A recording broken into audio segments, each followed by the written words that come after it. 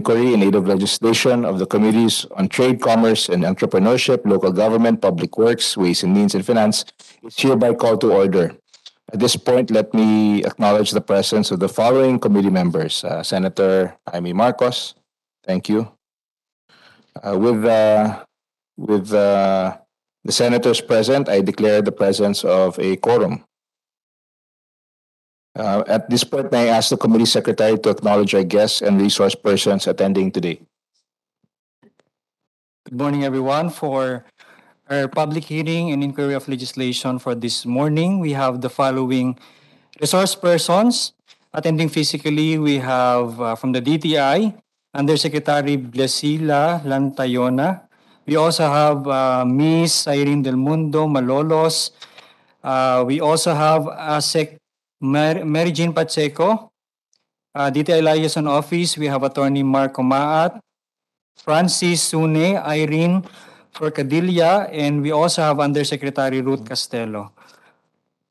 From the Department of Labor and Employment, we have Jerome Lucas. And for those attending virtually, we have uh, the following guests. From the PIDS, we have Ramonette Serafica. We have Attorney Oliver Xavier Reyes from the University of the Philippines Law Center. From uh, U.S. ASEAN Business Council, we have Mr. Earl Haribea. From Lazada E-Services Philippines Incorporated, we have Mr. Raymond Alimurong, Attorney Kyla Garcia, and Norman Ocaña III. From uh, the Quartz, we have Mr. Rome uh, Espino. From uh, Zalora, we have uh, Miss Suzy Pronstrolier. From Citizen Watch Philippines, we have Leandro Salud. From Shopee, we have attorney uh, Jamie Hans Segovia. From the Philippine Retailers Association, we have attorney Paul Santos. From ANCAS, we have uh, Ross Ramirez and Miss Jillian Grace Soto. From Lalamove, we also we have attorney Zoe Caneba. From Food Panda, uh, we have uh, today Miss uh, Imperi- Miss Andy Imperial. From JFCC, we have uh, the managing director, Mr. Don Felbon. From SM, we have uh, Miss Helene Go. From Facebook, we have Claire Amador. From Google, we have uh, Carlos Santiago. From Imagine Law, we have the project manager, Michael Lawrence Milian. From Secure Connections, we have the following Grace Mirandilla Santos, Dr. William Yu, Miss Cristina Batalia, Mr. Dan Carlos Mejes. For the One Town, One uh, Product Program Philippines, we have Mr. Wee Bohol, Miss Wee Bohol. From Food and Drug Authority, we have Ana Trinidad Rivera, uh, Rubilin Garcia, and Antonio Martinez. We also have uh, of the same agency, Olivia uh, Lorenana and Opheline Cabrido. From the CDA, Cooperative Development Authority, we have uh, Undersecretary Joseph Encabo. From uh, TESDA, we have Miss Beverly Bayonisto and Lourdes Castante. From Department of Agriculture, we have uh, Undersecretary Christine Evangelista and Miss Imelda Rida. From the Department of Tourism, we have Attorney Glyza Sarmiento, Miss Rebecca Rutsel Austria, Attorney Janice Bell Buzon, and Engineer Amelita Saganda. From Department of Finance, we have Miss Jean Ginto. From the Department of Labor and Employment, Miss Pia De Jesus. And for Senate Resolution number 169, we have the res- following resource persons from uh, Trade Industry Development Specialist, uh, Carla Tricia Santos, and uh, from DTI Construction Industry Authority of the Philippines, we have Doris Gatso. From the Philippine Statistics Authority, we have Soraya de Guzman and Glenn Polo. And from PCA, Philippine Con- Constructors Association Incorporated, uh, Incorporated, we have Ronaldo Elipaño Jr., Mr. Leo Valera, and Ms. Terbari Paulino. That's all, Mr. Chair. Yes, thank you. And I'd also like to, uh, to acknowledge the presence of uh, Senator uh, Ronald De La Rosa. Uh, his, I'd like to acknowledge his presence online. Hello. And uh, for today's hearing, the committee joint with the committees on local government, ways and means and finance will discuss the following legislative measures on Internet Transaction Act and One Town, One Product Philippines program. For the Internet Transaction Act, we have uh, Senate Bill number 154, filed by Senator Sherwin Gatchalian. Senate Bill number 612, filed by Senator Juan Miguel Zubiri. Senator, uh, Senate Bill 806, filed by Senator Jinggoy Estrada. Senate Bill number 1125, filed by Senator Mark Villar, yours truly. And uh, Senate Bill number 1250, filed by Senator Imee Marcos. For the One Town, One Product Philippines program, we have Senate Bill number 247, filed by Senator Loren Legarda. Senate Bill number 260, filed by Senator Ramon Revilla Jr., Senate Bill number 286, filed by Senator Jinggoy Estrada, Senate Bill number 424, filed by Senator Christopher Lawrence Go, Senate Bill number 946, filed by Senator Sherwin Gatchalian, and Senate Bill number 1246, filed by uh, yours truly again, Senator. Uh, right after the public hearing on the measures, the Committee on Trade and Commerce and Entrepreneurship, jointly with the Committee on Public Works, will conduct an inquiry in aid of legislation on Resolution number 169, directing the appropriate Senate committee to conduct an inquiry in aid of legislation as to the increase in the price of construction materials that affect the timely implementation of government infrastructure projects. Uh, Please allow me to make a specific House rules to ensure the orderly and efficient conduct of the hearing. Can Committee Secretary inform today's attendees of our House rules? Thank you, Mr. Chair. For everyone, kindly mute your microphone if you are not recognized or do not wish to be recognized. Since the visuals of the online meeting are limited, please inform the chairperson of your inquiry by speci- specifying your name before stating your concern, comment, and position. All data that the resource persons who wish to present relative to the subject today may be submitted to the committee secretariat for the consideration of this body. At this juncture, at this juncture please accept my heartfelt gratitude to all of you. Uh, thank you for attending this committee, this hearing, and assisting us in deeply understanding the topics that will be discussed this morning. Before we we proceed with the hearing proper, may I ask uh, the other senators present at this hearing if they have any opening statements prior to our discussion? Thank you. If I may, Mr. Chairman. Please, proceed, uh, Senator. Yes, the uh, 18th Congress uh, discussed these uh, bills quite thoroughly regarding the internet and e-business transactions. And uh, we have uh, um, already established as early as 2009, 13 years ago, the DTI e-commerce unit, um, which we would like to hear a report about. How is it going? Uh, what are the problems that you face, considering that in 2009, um, the quantum of e-commerce transactions was so small and it's just blown up. Um, we also know that the, two, the 2020 report of both Lazada, Shopee, and others um, posted a volume of consumer complaints three to five times larger than 2019. Obviously, because the transactions also multiplied um, similarly. Further, um, the uh, contentious clause in the previous debates in the last Congress surrounded the issue of joint and solidary liability, which would add additional and significant costs to e-commerce. So uh, the uh, responsibility, therefore, for several FDA banned beauty, skincare, health, and food products remained in limbo if we cannot uh, resolve the responsible parties. This is important to us and to consumer protection.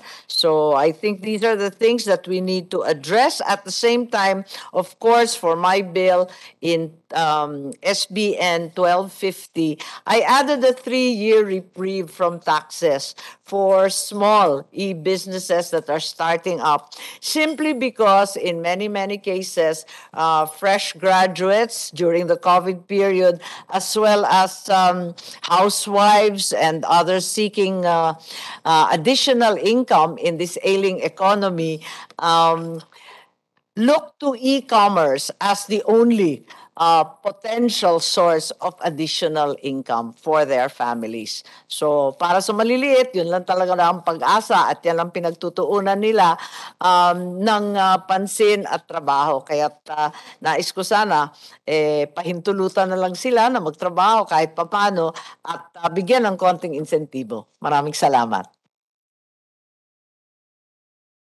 Thank you very much, uh, Senator. Thank you for your um, opening statement.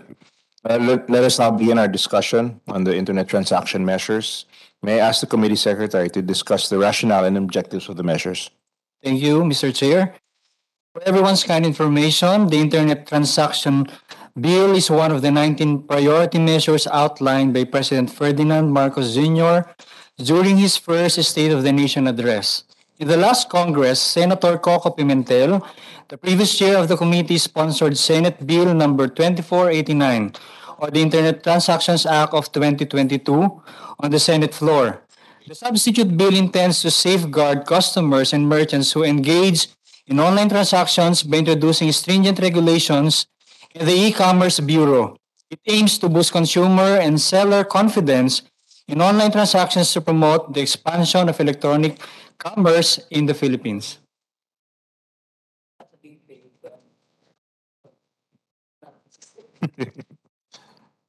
Can the uh, committee secretary confirm that there was already a previous report on this measure during the last Congress? Yes, Mr. Chair.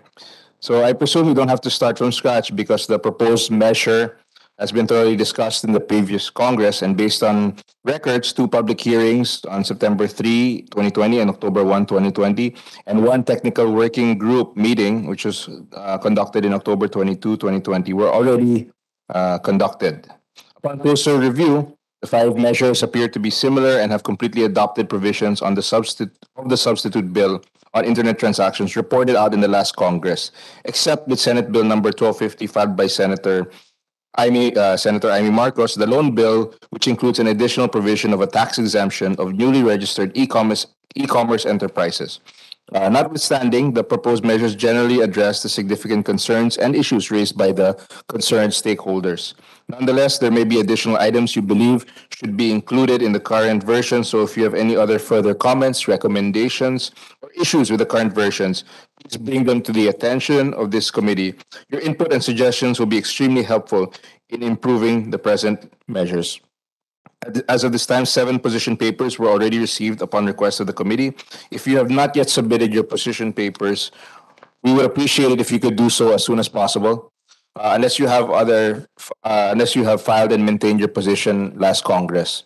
Considering that other stakeholders have had already filed their position paper when this measure was heard in the 18th Congress, may I hear any motion from the other senators to adopt the inclusion of position papers received by the committee from the previous Congress as an integral in, integral part of this hearing and be considered in drafting the committee report? Yes, uh, we herewith move uh, that uh, these uh, position papers, the seven already in receipt of the committee, as well as any uh, to be submitted later, be included in the committee report and in the consideration of the TWG. Thank you. The motion, the motion is carried. Thank you, Senator Marcos. Uh, as DTI already had already presented their measures also in the last hearing of this committee, may we ask the DTI for uh, for some uh, comments uh, relative to this measure?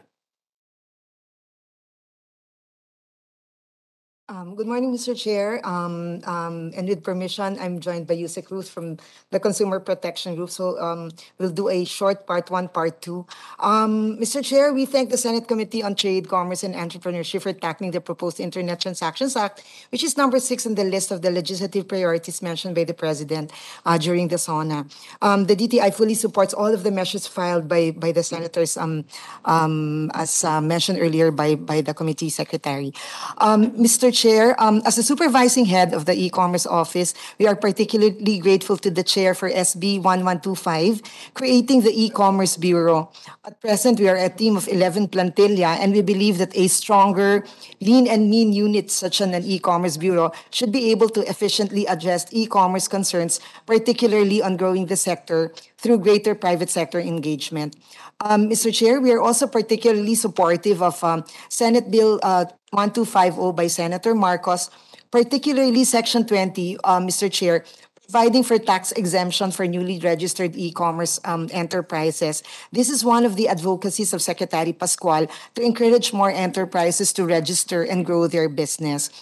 Um, aside from the e-commerce bureau, Mr. Chair, we see the need for an online business registry, a trust mark, and a little bit of clarification on the re- regulatory jurisdiction of DTI over digital platforms. We wish to manifest the position that DTI respects the mandates of other agencies. Hence, we propose that instead of a primary regulatory role that the rule-making authority of the DTI shall be ancillary to any duly constituted regulatory jurisdiction granted to an agency by law.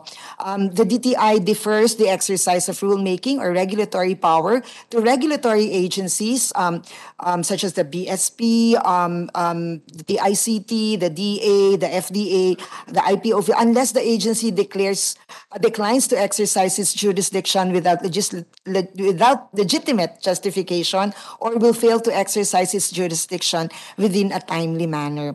Um, as the Internet Transactions Act also cover consumer protection, may I therefore defer to our Consumer Protection Undersecretary Yusek Ruth Castelo. Thank you, Mr. Chair. Uh, yes, thank you, ASEC Jean. Uh, good morning, Mr. Chair and uh, the Honorable Senator Imee. Uh, we express full support for the, um, uh, well, hopefully soon, enactment of the Internet Transactions Act, Mr. Chair. Uh, the DTI Consumer Protection Group has really been lobbying for this since the previous administration because it will intensify consumer protection uh, in the country. Currently, we only have the Consumer Act uh, of the Philippines that protects consumers, even if the online, even if e-commerce and online transactions are not mentioned. The Consumer Act does not make any distinction between a physical transaction and an online sa- transaction. This is going to really be a big help uh, for us in consumer protection, especially the creation of the online business registry. Uh, the online business registry will contain information the uh, sellers engaged in retail, uh, in e-commerce, uh, internet retail, uh, so that it's going to be easier for us also in DTI to uh, take action on the requests. Uh, currently, Mr. Chair, without the Internet Transactions Act, we often have to seek the assistance of uh, uh, our law enforcement agencies on cybercrime uh, because there is no, uh, a lot of times there is no trace where the seller is after the transaction has been completed by the uh, between the seller and the buyer and then the seller disappears.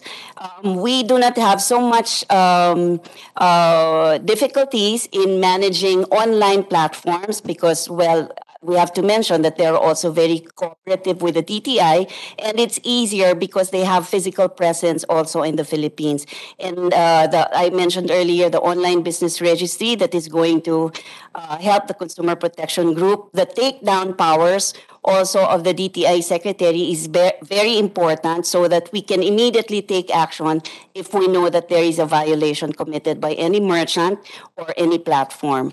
Um, so with that, Mr. Chair, we express full support and we hope that this is going to be enacted in the very near future. Maraming salamat po. Mr. Chair? Yes, uh, please I- proceed, Senator Marcos. Yes, thank you very much. Um, uh, Mr. Chair, in the past Congress, the debates um, centered around the dispute between uh, the digital platforms and uh, the DTI's consumer protection effort regarding the liability regime.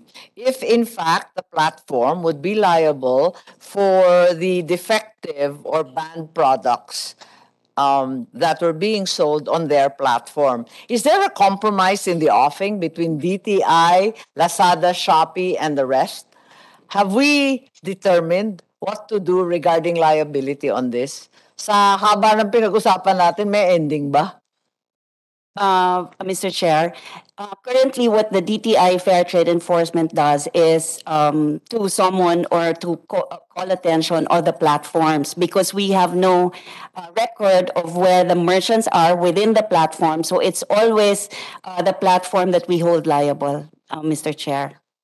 Any any word from the platforms here represented? Is that satisfactory? Because I take it from your position paper that you violently object to said uh, liability uh, uh, regimes because they will add costs to your to your uh, sellers and this will be passed on to the consumers. Tama ba? Wala ba tayong compromise dyan? Meron bang maayos na ah, responsibilidad para dyan? Uh, are there any uh, platforms who would be um, who would like to comment on the concerns uh, on on on this concern brought up by Senator Marcos? Maybe we can uh, ask for uh, position papers na lang. Uh, the platforms chairman, I think, cannot get away with zero responsibility. But uh, does DTI have you uh, anything in mind so that we can reach a compromise and finally pass this bill? If you ASEC. Thank you, ma'am. Um, ma'am, in our conversations with the platform, I understand that the version of the House, um, which provides for limited liability and states certain conditions, are acceptable to the platforms. But I'd rather, Mr. Madam Chair, that uh, the platforms themselves will say that uh, on record. Um, Are any of them represented this morning? they, I believe Shopee. see uh, Yes, the uh, the platforms present. Uh, Comsec, can you please identify? Comsec, kindly identify the platforms who are present in this uh, hearing, and uh, maybe I think some of them have their hands raised. Maybe we can recognize. Yeah, Yes, I think uh, secondary liability was imposed upon the yeah. platforms. I think I think some of yes. Yeah, secondary and limited liability. With Sir, we have conditions. Lazada. Lazada would like to speak. Uh, yes, uh, Mr. Uh, Mr. Alimurung uh, from Lazada, you are recognized. Thank you. Uh, Thank you very much, um, Chairman, Chairman Villar and Senator uh, Marcos for the opportunity to uh, be a resource speaker here. Uh, To the question that is being raised on the compromise or the approach on liability, uh, we confirm, as with ASEC Jean Pacheco, that there was a approach taken in the version in Congress where the approach was a more of a subsidiary liability uh, and a solidary liability under a specific set of circumstances, particularly involving uh, damage or loss to customer and awarding of civil damages. So it's a very uh, specific uh, scope on the liability as opposed to a blanket approach. Uh, our uh, on Lazada's part, our concern with the current solidary liability uh, language that we believe is in the version on the Senate bills today um, is that it uh, dramatically lessens the seller's responsibility and therefore emboldens potential wrongdoers as they will hide behind the platform. Uh, and therefore uh, will discourage enforcers from and will also discourage enforcers from pursuing the actual violator. Um, this also, we feel, creates an unnecessary differentiation between online and offline because today the mall is not solidarily liable for a violation of its tenant. Uh, the other concern we have, aside from lessening seller responsibility under a solidary liability blanket framework, is that it will potentially create an unlimited liability on platforms uh, which will significantly increase platform costs, which will be then passed on to the MSMEs and the consumers. Uh, th- thank you very much uh, for that for y- your comments on the bill. Yes, Mr. Chair. Um, Mr. Alimurung, the uh, platforms have a list of their sellers, don't they? And uh, you uh, exercise some due diligence uh, with the sellers that you upload, don't you? Uh, that is correct, uh, Senator. Um, however, uh, it's still possible for a seller to do a unilateral action or that is uh, that will happen before the platform can prevent them from doing it. Uh, and we have a lot of mechanisms that prevent this. We have a lot of AI algorithms in the background that that track sellers' behavior. We will take down when we see uh, patterns of behavior that are anti-consumer or uh, or fraudulent. Uh, however, it could still happen, no? and we feel Yes. that uh, yeah. The reason I'm asking is, uh, Ray, the reason I'm asking is because uh, there have been so many complaints. So, what actions have been taken as far as DTI is concerned? Uh, there's been a lack of response from the platforms, isn't that correct? Uh, yes, Mr. Chair, Madam Senator, the, the Fair Trade Enforcement Bureau uh, always seeks the attention of the platforms in case of any complaint because um, resolution of the complaint will be up to them. Uh, right now, we have also uh, informed the, the sellers the, uh, uh, about the laws that we are implementing and about what they should have in their platforms or what they should not have in the platforms. Um, unfortunately, there are still a lot of I- things I- to do. Sorry with to interrupt, but what's the grievance mechanism, Ray and uh, Yusek? Uh, What's the- the mechanism? Is the- there something that's very quick? I mean, without embarking on algorithms and AI from the very start in the back?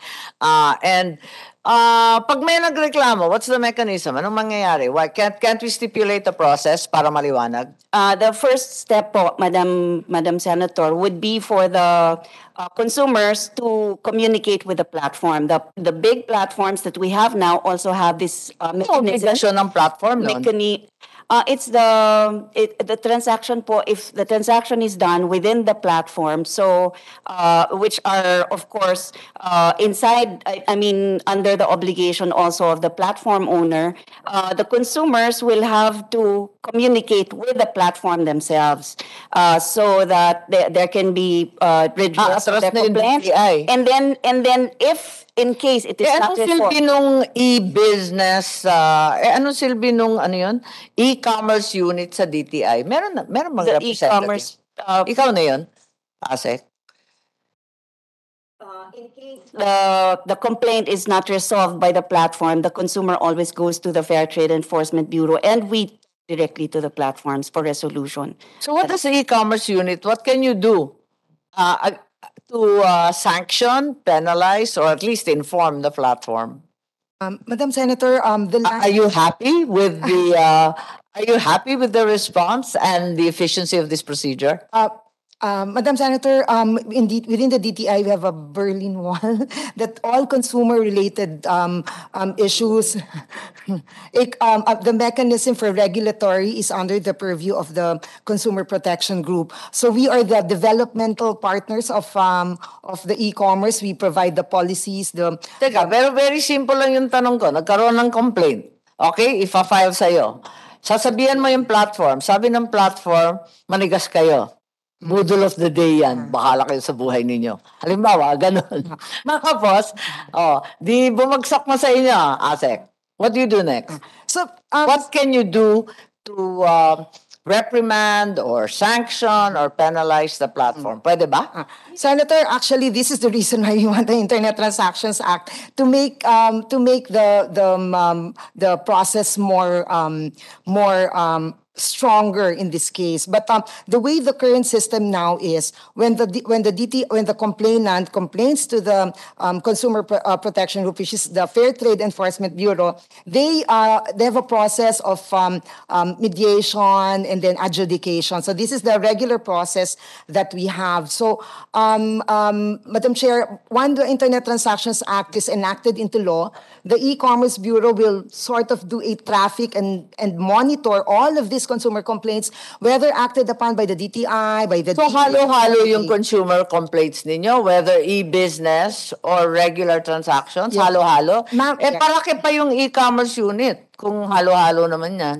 I'm sorry, um, No, I'm saying that e-commerce, uh, by its speed, its efficiency, its um, overwhelming presence, is different from an actual real transaction in a mall, as mentioned. It's different, di ba? So why are we treating it in the same way when, in fact, the Department of Trade already issued an order as early as March 2009 um, number 0916 na hihiwalayin nga yung e-commerce kasi iba siya. Bakit tinatrato ninyo yung consumer complaints as pare-pareho?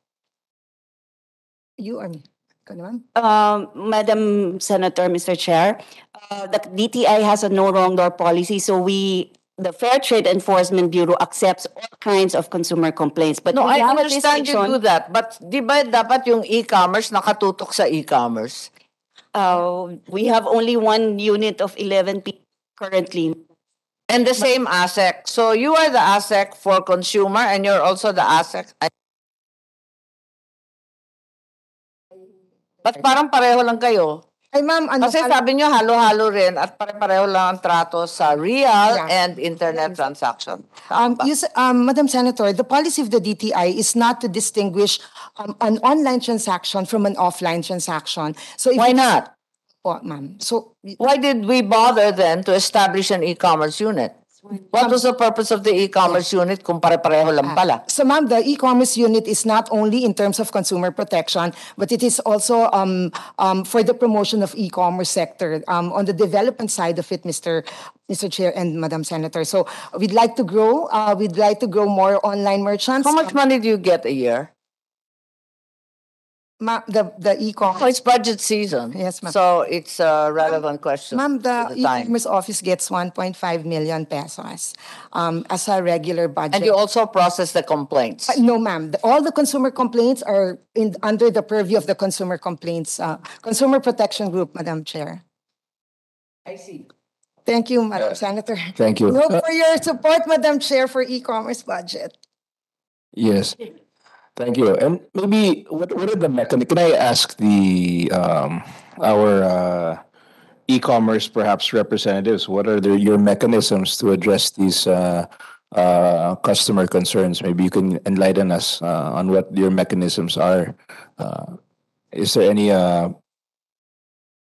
can we ask Mr. Alimurung from I can see he's raised, you're raising your hand. You- you're recognized, sir. Uh, yes, uh, Chairman Villar, um, for the mechanisms, me- before I mention the mechanism, can I set some context on the volume of, of contacts and complaints? Um, to, today, the customer contacts per order on Lazada is 0.3 percent. So if there is an order, 0.3 percent will actually contact us. Uh, and there is a 90% satisfaction rate. Now, if they cannot resolve it with us and we will i will i will explain very briefly what those redress mechanisms are it will be escalated potentially to the dti when the dti receives an escalation it is sent to us. Of the complaints that we receive from the dti they represent 0.001% of the orders on lazada. So if i may repeat the, the, the direct contacts to Lazada are 0.3% of orders, and the escalations on the DTI are 0.001% of the orders. Uh, any escalation from the DTI is resolved by Lazada within 1.5 days with a 99.9% resolution rate. Now, going back to the redress mechanisms on our platform itself, there is a seller buyer chat so that the seller and the buyer have a chance to first resolve amongst themselves. If they cannot resolve amongst themselves, they can escalate. It automatically can escalate to Lazada, where we have a 24 7 support. Uh, in our support, we will refund in full uh, any sale where there is an issue, uh, where we have verified that it is a uh, valid issue. Uh, if, uh, if I may share with the body, there's also the possibility of a buyer being the scammer. So Lazada has to determine that it is actually the seller that is causing an issue and not the buyer, right? Um, but definitely, we have a very powerful, ref- very strong, robust refund and return uh, mechanism. Uh, often, we will not even ask for the item to be returned. We will refund uh, depending on the buyer profile without asking for a return, and we will refund the amount in full, whether they receive wrong item, uh, whether it's damaged upon receiving, uh, incomplete, and things like that. Um, yes. So and then aside from that, I mentioned earlier uh, there will be escalation channel to the DTI. We will handle all those escalations. Average 1.5 days resolve, 99.9% resolution rate. Uh, thank you. Uh, ASEC, uh, you're hereby recognized. Yes, um, uh, Mr. Chair, may- maybe I just wanted a little bit also some clarification on, on Senator Marcos when I report, when she asked me about the budget. Madam, uh, Madam uh, Senator, um, Senator Angara provided a budget, um, 40 million. I just wanted Madam Chair to, to, uh, to mention that in 2020. So in 2020, we have a special, uh, by the finance uh, chair that we were able to get that, uh, budget for that particular year, Madam Chair. And and sometimes we ask um some budget within the DTI, but, but. To what? What is the 40 million dedicated? Uh, yes, ma'am. Just in general to e-commerce or was it specifically for For startups and so on? No, for the e-commerce roadmap, uh, Madam Chair, in the implementation of the roadmap. Implementation or the development of a roadmap?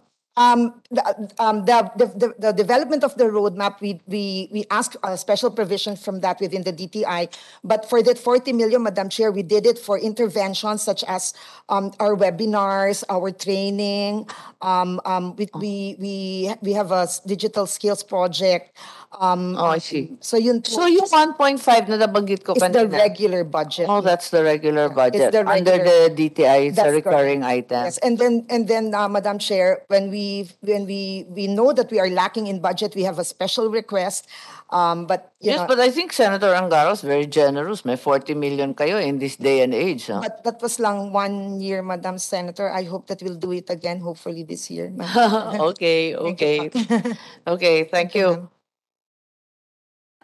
Uh, Thank you very much. I, I've, uh, well, before we proceed, I'd also like to acknowledge the physical presence of the DOH and the FDA, Director Cecil Matienzo, Division Chief uh, Marie Victorion, Mr. Christian Arnau of the Food and Drug Administration, and Ms. uh, Madeline Teresa Casimiro of the, the DOH.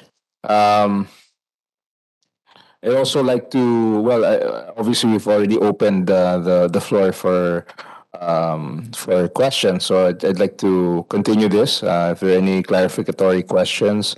Um, But I'd also, uh, I have a few questions myself that I'd like to clarify. Um, There's in, in, are provisions about the powers of the DTI secretary, particularly the takedown provision, um, uh, which, eh, which is, uh, uh, something that uh, I, I would I would like to hear the comments of our um, our uh, internet uh, well our um, our internet uh, sales um, companies. I'd like to see if I'd like to see what their comments are regarding these additional powers that will be given to the uh, DTI secretary, in particular the takedown provision, if they're found to be liable or if they're found to be to violate uh, consumer provisions. So um, is but maybe the DTI you can enlighten us on these provisions. Perhaps you can enlighten on what your opinion is regarding this.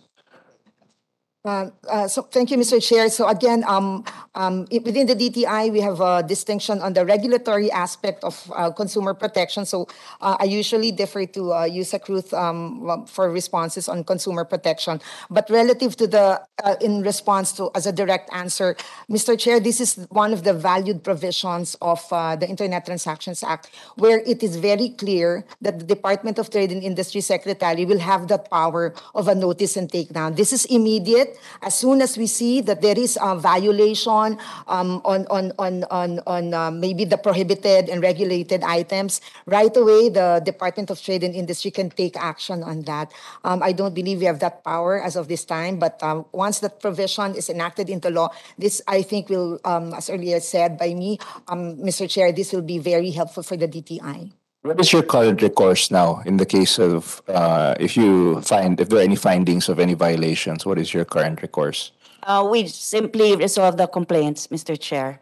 Uh, we have no power. Well, a lot of times with the big platforms, we communicate with them cordially and ask them to uh, take down the seller, but we are not sure if this is done, Mr. Chair, because of the lack of uh, authority on the part of DTI.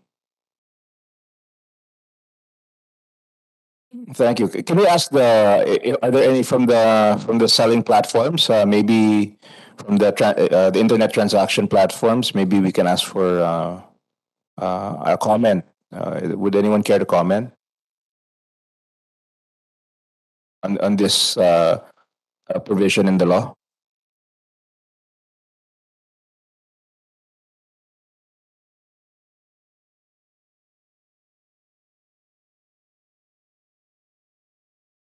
Mr. Chair, from PRA, we have Paul Santos would like to be recognized. Yes, please. Uh, you are hereby recognized, Mr. Uh, Paul. Mr. Santos. Uh, Mr. Santos. Thank you, uh, thank you, Mr. Chair. Uh, looking at uh, looking at the provisions here of the powers of the DTI secretary, to order uh, a take to immediate takedown of a website that infringes Philippine law regarding, for example, the sale of contraband items, uh, you would notice that the powers of the DTI, there, there are basically two levels of enforcement in this clause, like common in all of the bills. no? One of them is uh, when the e- when the proposed e-commerce bureau finds cause to recommend to the secretary of uh, the DTI to recommend that certain products sold by certain websites be closed, or if the website itself uh, infringes on Philippine law to order uh, the takedown of website itself. And uh, the, the second uh, and the second uh, clause is given certain extraordinary circumstances, the DTI secretary himself may motu proprio order uh, the takedown of to, to, to order the takedown of these sites or to prevent certain products from being sold. Um, my concern here is that, for example, in the first instance, the in case that the bureau, the, e- the proposed e-commerce bureau finds cause to recommend to the DTI secretary for action against a certain website or the products it sells, uh, there is uh, no clause. There is no clause in all of the bills that will require uh, the e-commerce bureau to to, uh, request the alleged infringer to respond to uh, the complaint against it or the products it sells. Uh, so we have, I, I would- suppose there would be a, grave e-com, a grave uh, due process issue in this respect. Second, uh, given the extraordinary power granted to uh, the DTI secretary to order the immediate uh, but provisional close uh, takedown of either a website or product, um, we find that, for example, in the second in in in in, in the second clause of that power, which uh, the DTI secretary can issue an advisory uh, advising payment processors not to entertain or not to process payment transactions involving that website. Uh, this power can be can be exercised in an overly broad manner because, for example, uh, if the infringing website only sells one, two, or maybe several infringing products that have been uh, ordered taken down. But the advisory coming from the DTI secretary to payment processors not to process payments of any nature for any product sold by this uh, by this website, uh, that would be uh, ruinous for the website concerned because internet uh, payment processing is the lifeblood of internet transactions, and if the website is only found potentially liable for selling one or two infringing products or contra uh, or, or or infringing products, yes. But payment processing payment processing is suspended for all of its non-infringing products. Then that in, in itself is tantamount to ordering the entire website closed uh, until the uh, website owner gives sufficient reason uh, for for lifting said uh, takedown notice.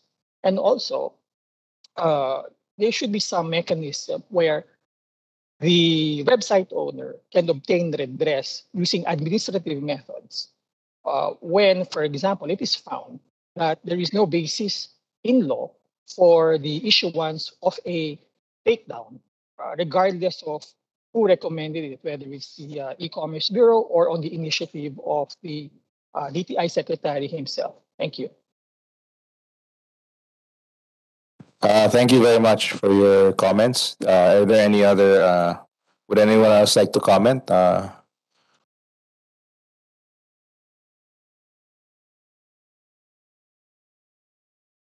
um, is there anyone else who would like to make a statement from uh, either the stakeholders or from the DTI, perhaps? Yes, please. Uh, Kati. Mr. Chair, uh, we appreciate the provisions on takedown and the issuance of a cease and desist order against uh, platforms or merchants or any individual person selling uh, goods that violate the law. There are a lot, Mr. Chair.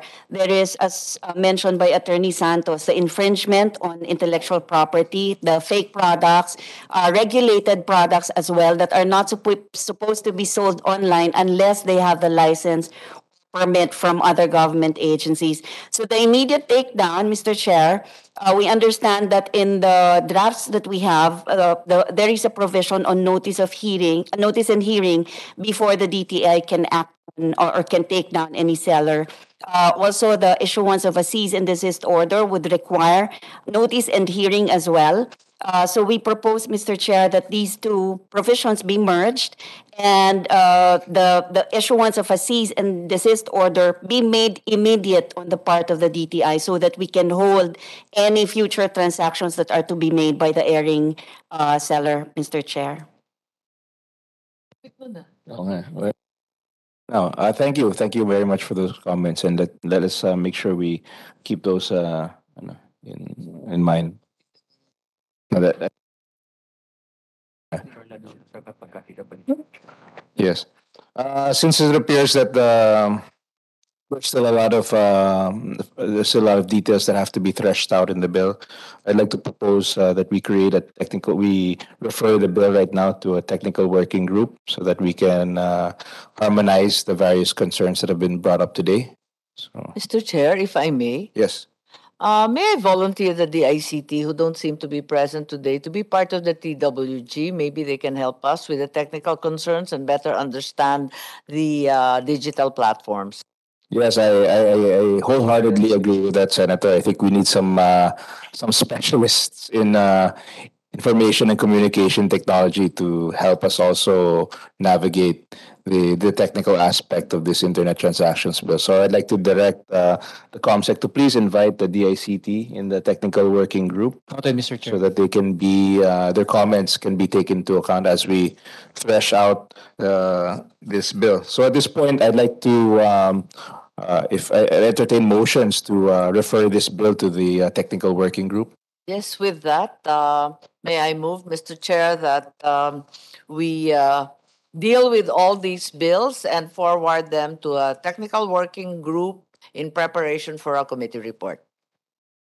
Uh, Thank you very much for that motion. Uh, If there are no objections, the motion is uh, hereby carried. And I'd like to uh, uh, move on from this uh, um, internet transactions bill. Thank you. Thank you. And we'd like to move on to the um, the One Town, One Product Philippines program. Mr. Chair, Yes.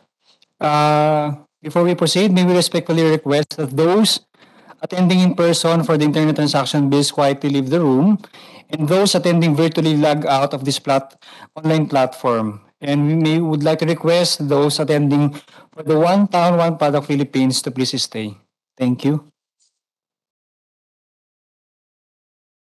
Thank you very much. And the committee thanks all the stakeholders and all those who participated in this uh, hearing on the Internet Transactions Act. Uh, We thank you for your time and your contributions.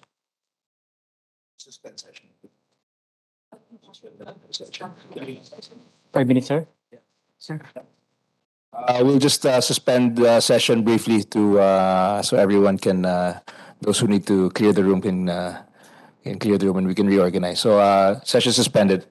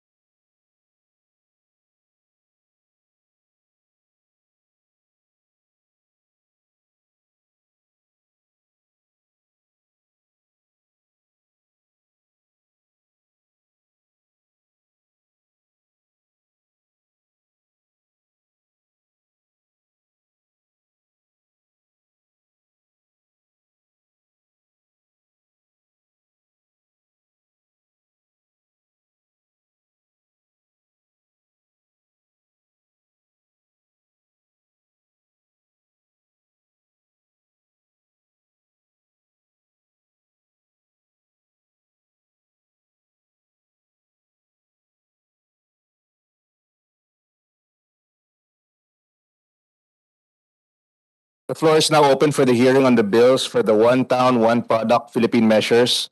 Uh, Senate bills numbers 28, 424, 247, 260, 946, and 1246.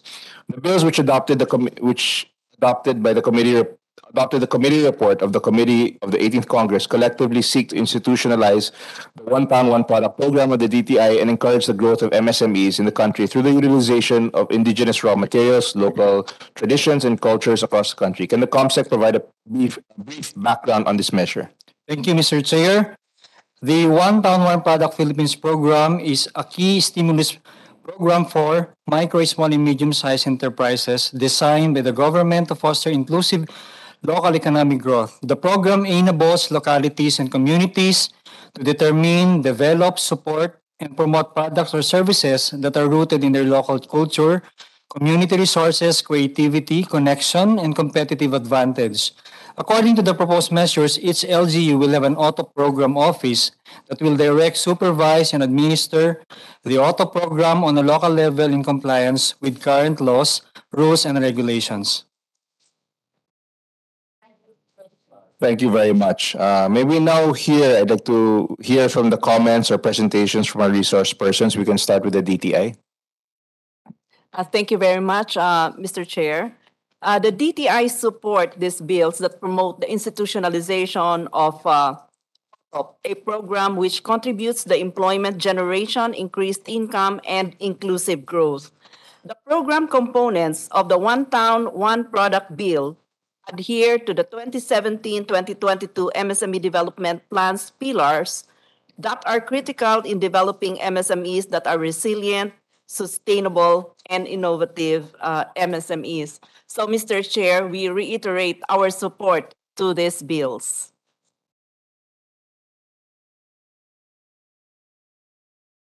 Thank you very much. At uh, meron pa ba mo to? Ah, Okay.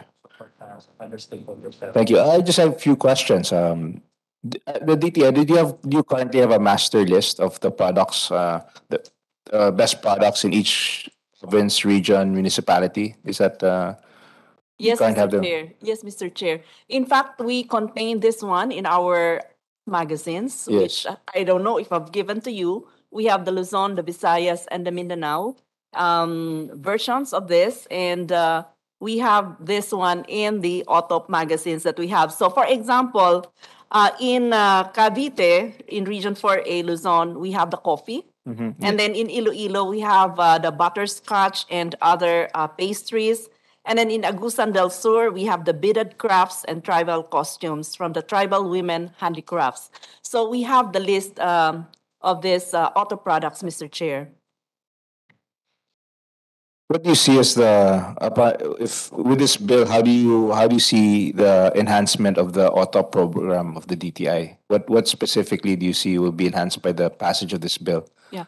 With the institution of uh, the OTOP program, Mr. Chair, uh, we are now sure that uh, budget for this will really be allocated and that uh, the programs are institutionalized and that we have very, very strong focus already on the towns and the municipalities uh, um, uh, products uh, that are some some of them are even startup. So we need really to support even if we have already um, MSMEs that are this level.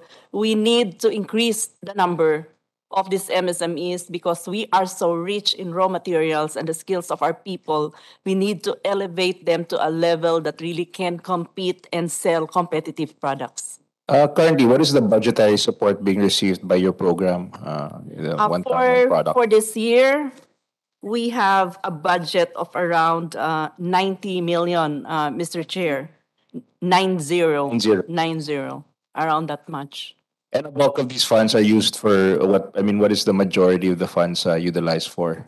Uh, Product development, uh, training, um, assistance in packaging, even assistance in um, um, helping the MSMEs get their registrations with the FDA, the license, because they cannot, they really cannot expand their market if they don't have these registrations, uh, Mr. Chair. We also use the budget in the establishment of uh, OTOP hubs which is a physical store that will uh, sell the OTOP products, showcase and sell the OTOP products. And these um, OTOP hubs are located currently in some of the airports, um, also in the municipalities, and um, right now we're starting to um, negotiate uh, with the secretary of uh, with the secretary, the current secretary, with Ayala Malls for free store, but a free space in the Ayala Malls. But they, we have really to beef this up. uh, You know, the arrangement and the presentation, and we also have um, negotiated and in fact signed an MOA already with uh, the Shell.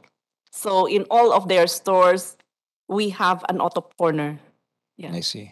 I see. And how do you, in terms of the allocation of the budget, is it, uh, um, do you, do you allocate it per region or do you just choose which, or the, the department chooses which areas they feel are the most, um, I guess, the most in need of, uh, budgetary support?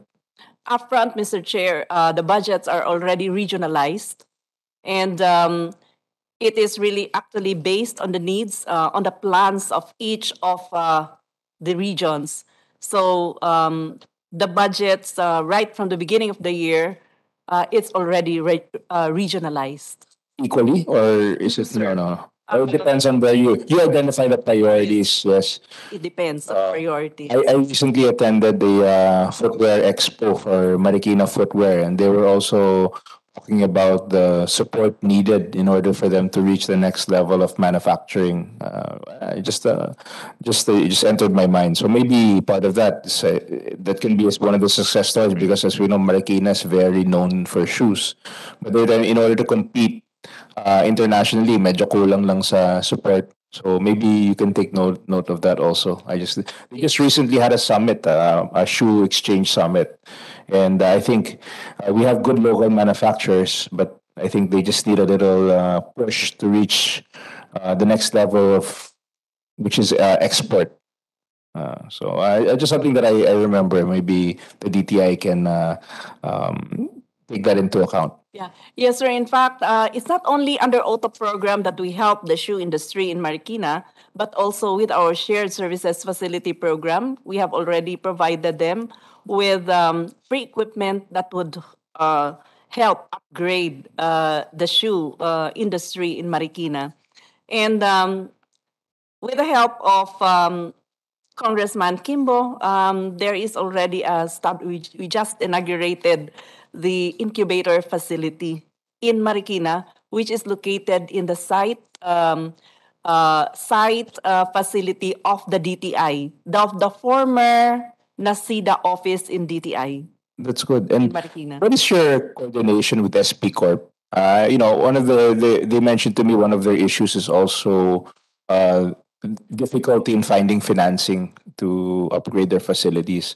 Uh, what what what kind of coordination do you does the D, I mean do you have in terms of the one town one product and uh, uh, small business corp uh, SB Corp for financing? Yeah, SB Corporation actually relies on the Department of Trade and Industry for the MSMEs that they can uh, fund. Because if it comes from DTI, they are more or less sure that these um, MSMEs are actually um, stable and have been assisted not only in terms of technical assistance but also in terms of entrepreneurial assistance, training, etc. So our negosyo centers and our provincial offices are actually coordinating very closely with the offices of um, SB Corporation in the regions. So uh, we even promote their financing programs and help the MSMEs uh, uh, navigate the the um, the digital component of it because now SB Corporation has already um, transitioned from physical application and etc. to online. So there is already an online um, application and even the processing and the release of the loan. So our negosyo center business counselors and provincial office uh, um, office uh, personnel are helping the MSMEs navigate this. I I think that's good, and I hope I hope that uh, with this bill also your coordination with uh, with other uh, sources of funding should be increased because a lot of these a lot of these what, a lot of these uh, MSMEs and more often than even your medium scale, which are very which are quite big already, they need financing,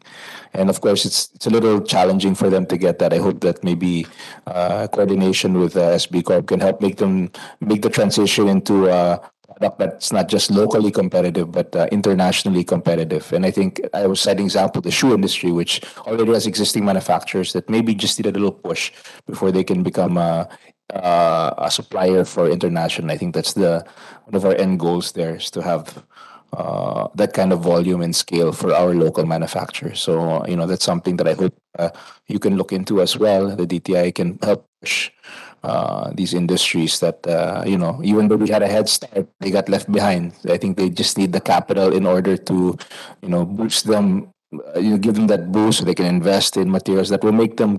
And of course you have to choose. I mean, there's certain industries where we can compete, we can compete nationally, uh, inter- sorry, internationally. So it's important that we identify these industries.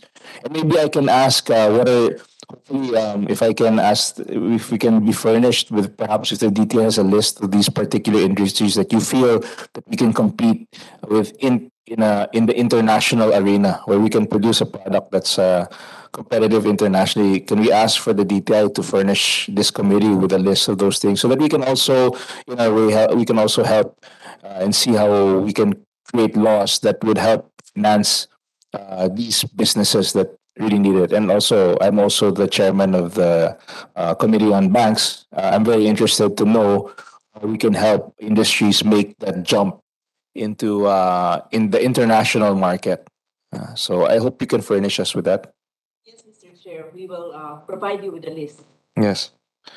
Uh, are there any? If there are there any, is there any other uh, stakeholders or is there anyone else who would like to share their opinions regarding the uh, the one town one product uh, bill? Anyway.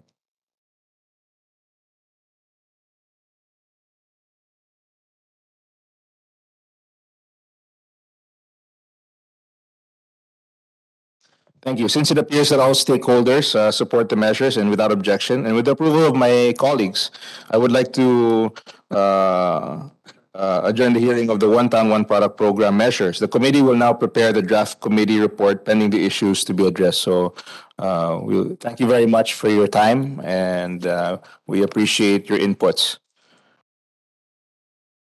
Thank you. Thank you very much. Thank you, everyone, for insightful comments on our OTOP legislative measures. Again, may we kindly request that the resource persons attending the OTOP measures physically to leave the room silently, and that those attending virtually log out of our online platform. Likewise, may we request those who are also attending for the inquiry in aid of legislation on Senate Resolution Number 169 to please stay. Thank you. Thank you. Uh, session.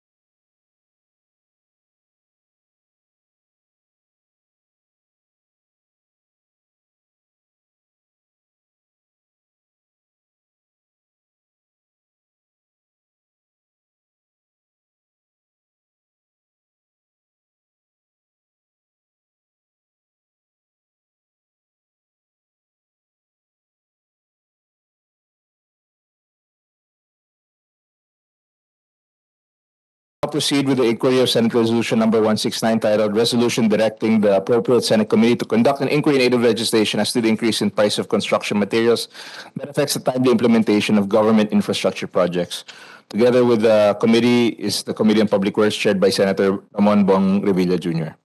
This representation filed resolution number 169 on August 30, 2022, following the increased increasing price of construction materials in the country, which is anticipated to continue through the rest of the year and possibly into 2023. This is allegedly due to a number of factors, including the ri- rise of oil prices brought on by the conflict between Russia and Ukraine.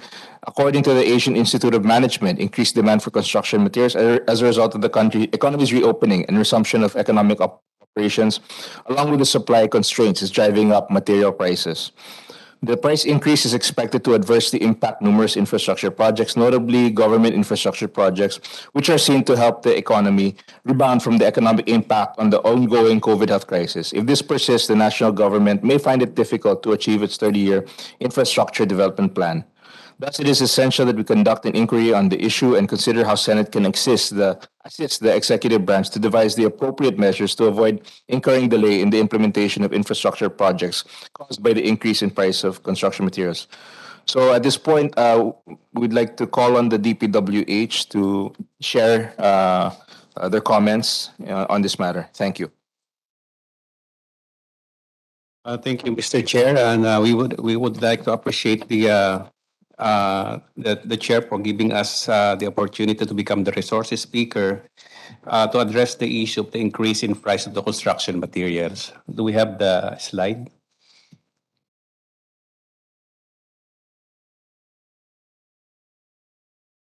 I will be presenting uh, three uh, issues here. Uh, We'll be presenting, number one, the data showing the increase in the prices of construction material. Number two, the existing laws and issuances to address the increase in prices of construction materials. And the last is the, what the DPWH initiatives to address the increase in the price of construction materials. Next slide, please. So in this slide, uh, we can see uh, the comparison between the uh, comparative increases in the uh, prices of fuel and uh, uh, construction materials and the NCR region for the purpose of comparison with the uh, between the PWH and the PSA or the Philippine Statistics Authority. So from this, uh, uh, Mr. Chair, from this uh, data, we can see that as the baseline, the fourth quarter of 2021 last year, uh, the first quarter, for example, for fuel, uh, we have a disparity between the prices of uh, fuel and NCR between PSA and DPWH. We have we are 5.42%, while uh, PSA is 20%. And then right after the uh, war in uh, Ukraine, uh, there is uh, in the second quarter there is a uh, appreciable increase in the fu- price of fuel and other materials. So we DPWH immediately adjusted its price in the CMPD, the construction materials and price data of the DPWH, which we are uh, done, done uh, every quarter. We adjusted it to 86.85% as against the PSA at that time, which is only 36.26%. So uh, by the by this quarter, sir, um, Mr. Chair, uh, uh, compared to the last quarter, the fourth quarter of 2021, we're already 100.65. So ibig sabihin na doble na po ang presyo natin ng fuel. Uh, next slide, please. So uh, in comparison po, uh, ito rin po yung ating diniscuss kanina with respect to the CMP, the PPWH, and the PSA price index. Next slide, please. So what are the uh, existing laws on issuances with regard to the issue of uh, the increase in price uh, of uh, construction materials and fuel? We have in the department DO number 60 series of 2017 which uh, specifies the guidelines and procedures for all price escalation and extraordinary contract related claims manual. So lahat po ng uh, contracts natin na either locally funded or uh, foreign assisted, the procedure for the uh, uh, claim or uh, for price escalation is included in this department order number 60. With respect to the Republic Act 9184, the procurement law, uh, specifically Rule 19 with the contract prices in warranties, 61, uh, Section 61.1 reads, For the given scope of work in the contract as awarded, all bid prices shall be considered as fixed prices and therefore not subject to price adjustment and escalation during contract implementation except under extraordinary circumstances and upon prior approval of the GPPB or when a treaty or international executive agreement expressly allows it pursuant to Section 4 of this IRR. Section 61.2. In cases where the cost of the awarded contract is affected by any applicable new laws, ordinances, regulations, or other acts of the government of the Philippines promulgated after the date of opening of bid, a contract price adjustment shall be made or appropriate relief shall be applied on a no loss, no gain basis. What are the department initiative with regard to the issue? We have Special Order Number 68 Series of 2022 signed by the then Secretary Roger Mercado, its aim is to establish effective coordination with concerned personnel and ensure immediate resolution of various issues and concerns regarding price increase of construction materials in the market due to the price increase of fuel caused by the ongoing conflict in Europe and in line with the continuing efforts of the government to implement projects with the right cost. We have also Department Order Number 63, Series of 22, issued on April 29, 2022. It's, uh, it is uh, formulated in order to address the subject issues and concerns relative to the volatility of all construction materials prices brought by the abrupt increase in the prices of petroleum products due to the ongoing, con- ongoing conflict in Ukraine and Russia, and so as not to impede the implementation of projects provided hindering shall be observed and undertaken by all parties. So dito po, uh, it is specified uh, all the uh, um, the conditions. For example, letter A, projects for bidding. So ano po yung gagawin ng mga contractors natin? Uh, projects already advertised but with pending submission of bids. Hindi pa siya nabibid. Projects already bid out but not yet awarded. Projects already awarded, contract but not yet started and for ongoing projects. So naka-specify po dito kung ano yung gagawin ng mga contractors natin. So I will go uh, uh, every uh, in the detail for these five conditions. Projects for bidding, to yung hindi pa natin nabibid. So in the preparation of the program of work, ABC and DUPA for infra projects, the implementing offices are authorized to util- utilize material prices that vary from those reflected in the quarterly issued CMPD which when necessary, provided however that prices to be used and the cost estimates are supported with proper justification. Ah, ito po yung halimbawa during the time of programming hindi natin ah, magkaiba yung ating nasa CMPD which was prepared by the DPWH at saka yung actual natin sa ground then they are allowed ah, to to submit ah, three valid and updated canvases at gagamitin nila yung median noong mga prices noon. How about if projects already advertised but with, with pending submission of bids? The BAC, based on the recommendation of the IO, may issue notice of postponement and initiate amendment updating of the approved ABC. Projects already bid out but not yet started. Upon recommendation of the implementing office and if the increase in price material as stated in this order costs the project subject of procurement to longer economically feasible, the BAC may invoke the reservation clause pursuant to Section 41 of the IRR of 9184 and declare a failure of bidding. Afterwards, the, AO, the IO may cause the rebidding of the project. Next is if the projects are already awarded or contracted but not yet started. Before the implementation of the project, the contract at the instance of the contractor may be subject for termination by convenience pursuant to Annex Sorry. If warranted, the IO shall cause the takeover of the contract and negotiate with the next rank and succeeding lowest and responsive bidder. If unsuccessful, the procuring entity may initiate amending amendment again of the ABC and con- conduct the rebidding. How about the project if, on, if the project is ongoing? The contractor may file a request for price escalation or either relief available to him under existing laws rules and regulations subject for review and recommendation of the price escalation and extraordinary claims review committee. Po yung ating DO60. Moreover, the said measure shall be undertaken by the concerned parties involved in accordance with the guidelines and procedure stipulated in 9184. What about the uh, concern of fuel? Uh, uh, doon sa ating graph kanina, nakita natin na nadoble talaga yung presyo ng fuel natin since last year. So we, we issued on May 18, 2022, the fuel and lubricant of commonly used equipment. So pwede na natin gamitin yung dry rental rates and then we adjust the cost of fuel. So we uh, we again uh, propose a guideline on price adjustment through a letter to uh, GPPB to Attorney uh, Rowena Ruiz uh, seeking uh, exemption on the price adjustment as stipulated in 9184.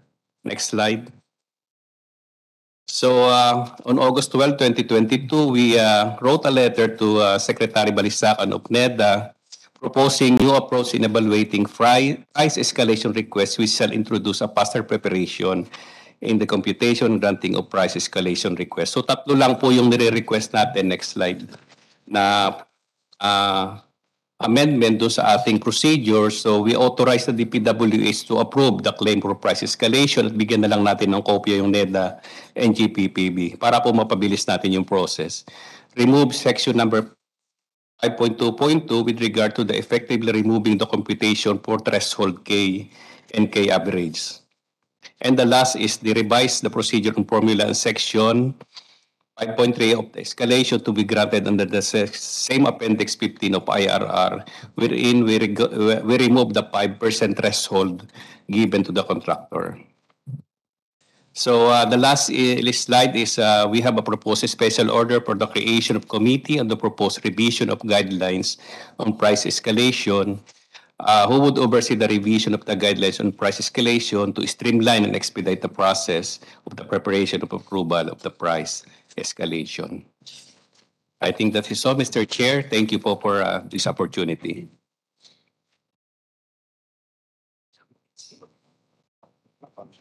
Uh, would anyone, uh, thank you, DPW, uh, DPWH, uh, Assistant Secretary for your uh, very enlightening presentation. Is there anyone else who would like to share their comments? From our, uh, from our stakeholders?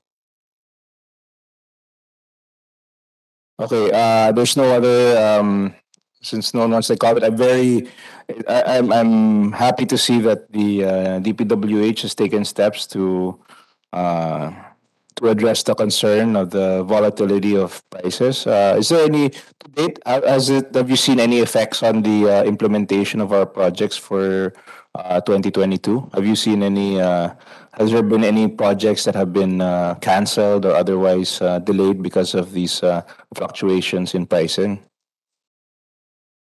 Mr. Chair, if I may. So, although at this point in time, we have no complete list of projects affected by this price increase, whether terminated or adjusted, but there are some reports already that there were some projects that were already terminated. But we will be, I think we will be submitting to you a complete list uh, later on with regards to the effect of this uh, price increase to the implementation of infra projects of DPWH, Mr. Chair. Thank you very much. I will request the COMSEC to please uh, ano, receive and uh, follow up this list from the DPWH. So again, um, seeing as how there are no more uh, comments or questions from our stakeholders and from my colleagues, I'd like to conclude, let me conclude by expressing my sincerest gratitude to our resource persons who participated in our inquiry today and who kindly responded to the committee's questions and shared their valuable insight. We appreciate and take note of your respective comments and positions on the resolution. We hope that this investigation, this, uh, inquiry will help the government come up with a more concrete solutions to address the rising price of construction materials. I'm hoping that the discussions today will help me and my fellow legislators develop a legislative proposal to deal with this issue. If you have further materials or comments that you would like to submit, kindly send them to the committee secretariat. Uh, with the approval of my colleagues and in consideration of the time allotted for this hearing, I would like to adjourn, uh, hereby adjourn this meeting. And uh, I'd like to again thank you very much for your presence.